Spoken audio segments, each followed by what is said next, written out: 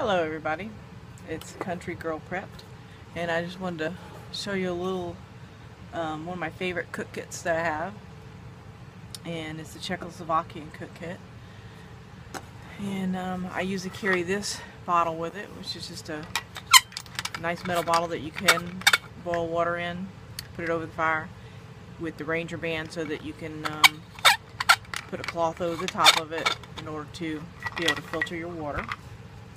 I carry two homemade alcohol stoves and alcohol with it. And inside, this is the lid. It has another bowl. So it's two, so you can do like your main and you can do like your rice if you're going to do something like that. I always carry silverware, which I like these because they fit right in here perfectly. They're, um, you just, they bend um, for storage in this little container, but knife, fork, spoon, and a spoon. Um, in here I also carry another alcohol stove, alcohol, seasoning. I do salt and a little bit of cayenne pepper and have this is to set the alcohol stove on. This is for a cover aluminum foil and for cleanup.